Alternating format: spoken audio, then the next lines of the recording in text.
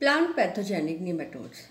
The nematodes which cause disease in plant are entitled as a plant pathogenic nematodes. In this e-lecture, we will study about the morphology and characteristics of plant pathogenic nematodes. Let us start. Introduction Appearance The nematodes are worm-like in appearance. However, they differ taxonomically from the true worms. As the true worms possesses two bands of muscles, but nematodes have only single band of muscles which is longitudinal. These muscles help in movement. Habitat Many species of nematode live part of their lives in the soil and they feed on roots and underground stem. They obtain their food with the help of spears, which is also known as stylet, and they cause variety of plant disease throughout the world. The annual worldwide losses caused by nematodes on the life-sustaining crops was estimated to be about 11% and this includes all the grains and legumes, banana, cassava, coconut, potato, sugar beet, sugar cane, sweet potato and yam. While losses for most other economically important crops are about 14% and it includes the vegetables, fruits and non-edible field crops. On the basis of habitat, the plant pathogenic nematodes are classified into two types, ectoparasite and endoparasite. Those nematode species that do not normally enter the root tissue but they feed the plant parts only from the outside. Such nematode species are known as ectoparasite. While endoparasites are those nematode species that enter the host and feed from within. Both the ectoparasites and endoparasite nematode species can be either migratory or sedentary. Migratory means they live freely in the soil and feed the plant cells without be becoming attached or they move around inside the plant. These migratory nematode plant species enter the plant and after a while some while they come out of the plant and live freely in the soil. While sedentary nematode plant nematode uh, species once entered the plant they do not come out of the plant. And they live their entire life in the plant. Ectoparasite nematodes include the ring nematodes and the dagger, stubby root and sting nematodes.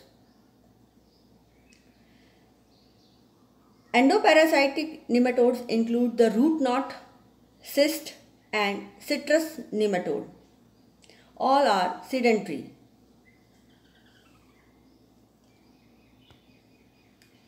Classification All plant pathogenic nematodes belong to the phylum Nematoda. Most of the important genera of nematodes belong to the order Tylenchida, but few genus belong to the order Dorylaimida. Some important genus, example Anguina, Globodera, Heterodera, Meloidogyne comes under the order Tylenchida, while Paratrichodorus, Trichodorus comes under the order Dorylaimida.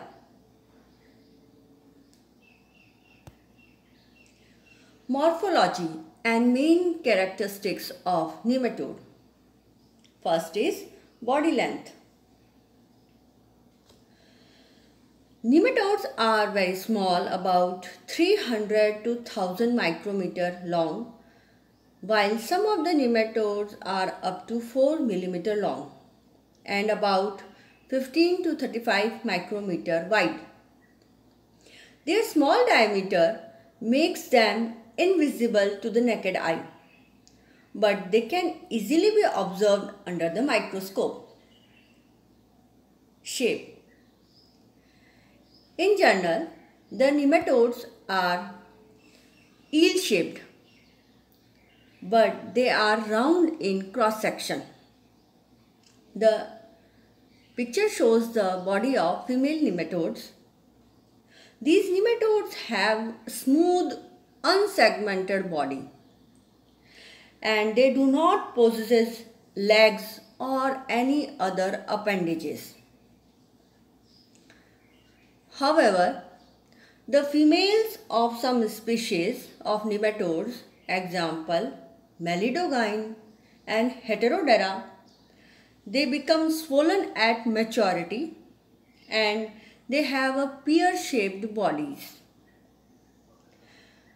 While the males remain vermiform in all the genera of parasitic nematodes.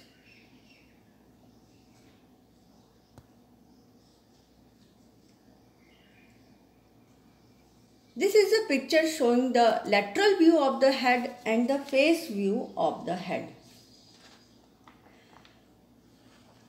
The head, uh, the head possesses mouth and this mouth is surrounded by six lips from all sides. At the center of mouth, stylet is present. This stylet helps to puncture the plant cells and absorb the nutrients from the plant.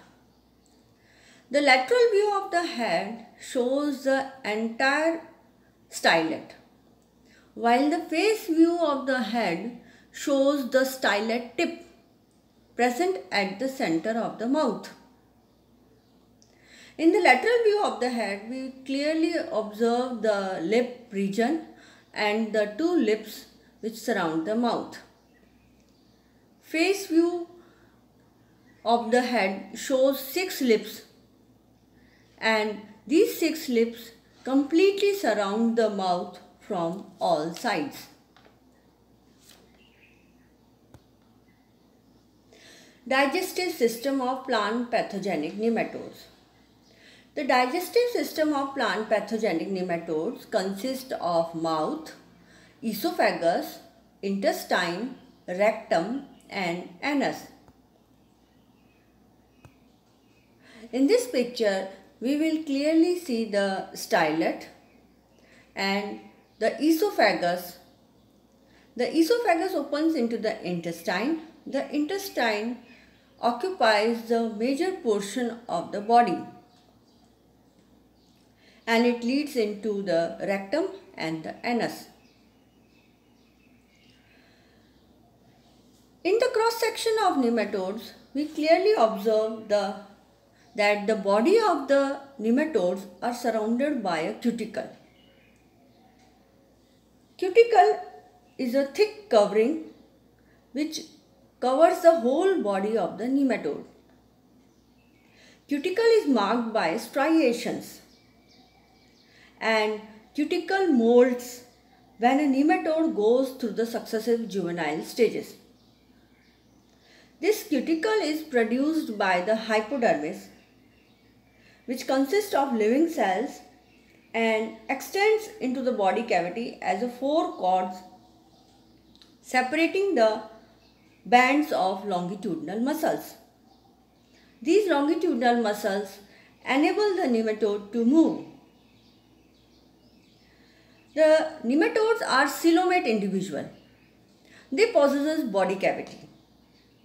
And this body cavity contains the fluid through which the circulation and respiration process takes place. The cuticular annulations are clearly observed on the cuticle.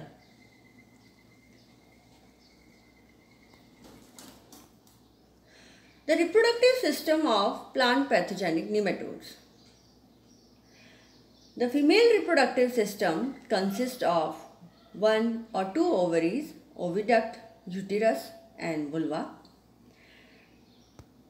In this picture, in this picture of female nematode, we clearly see the ovary, egg, spermatheca, uterus and the vulva.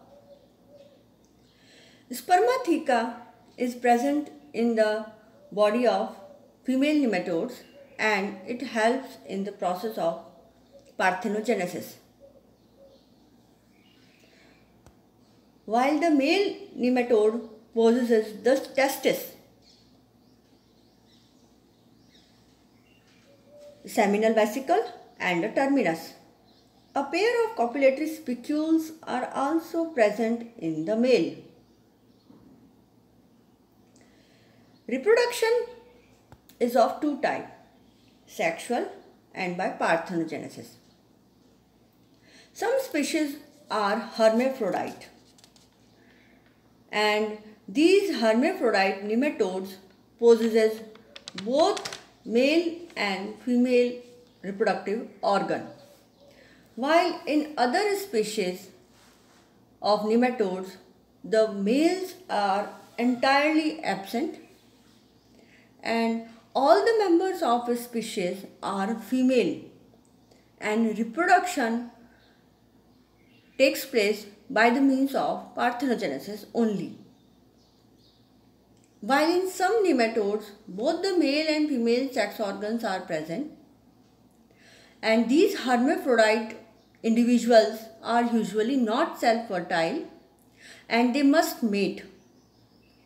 But each individual lay eggs instead of only half of the population as when males and females are separate.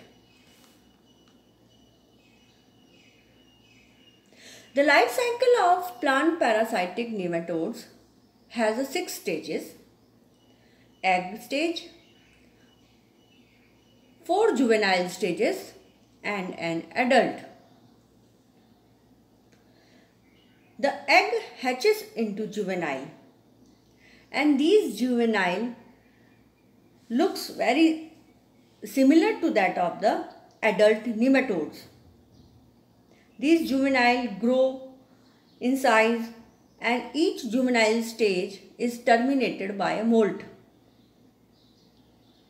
All the nematode species has four juvenile stage with the first molting usually occur inside the egg. After the final molting, the nematodes differentiates into male and female. The female can then produce fertile egg either after mating with the male or through parthenogenesis. This life cycle from egg to egg may be completed within 2 to 4 weeks under the optimum environmental condition, especially the temperature condition. But it will take longer time in cooler temperature.